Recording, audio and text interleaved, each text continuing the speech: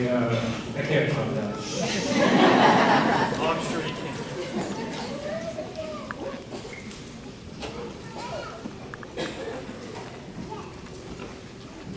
This is beyond my wildest dreams, trust me.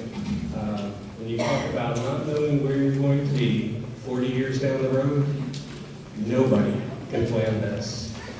Um, So take that as your first lesson. You never, ever know. So Dr. Felice, thank you very much.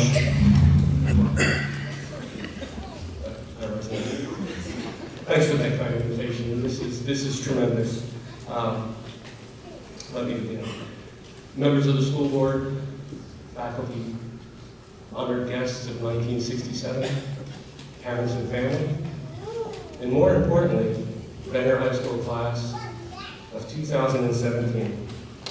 What an honor it is for me to be here, trust me. To honor the future and the potential that these young adults represent in front of us. And I think I speak for all of us when I say congratulations for what you've already accomplished.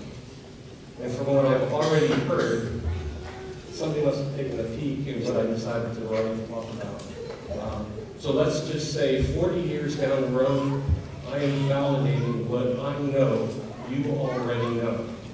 Um, So bear with me if you hear some of the same things you have already heard before. Um, What I have found that you have heard, what I've heard, and what I'm about to talk, talk about, they're all true. They may be simple, and you may have heard of them before, and you're going to, excuse me, hear them again in the next 15 or so minutes. But they're true, and they are always worth repeating. So it's a pretty exciting night for you. Know that you are anxious to get on, and I'm just going to ask you to be patient for about 15 minutes.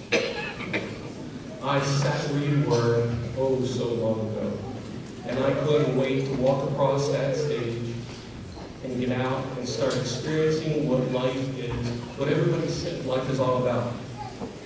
But I know that once the euphoria subsides, you're going to realize that this place, your experiences here, all the memories that you made in these halls, they're going to stay with you.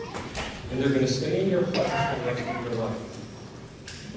You know, I, like I said, I never thought that I would be back here, especially on the stage in Bangor High School. I didn't graduate in an auditorium. Um, we did uh, uh, Bangor Park. Um, but being back here brings back an awful lot of memories. The last time I was on a stage in this high school, I was being shot out of a tree in, in Brigadoon. I simply hope that tonight ends a little bit different.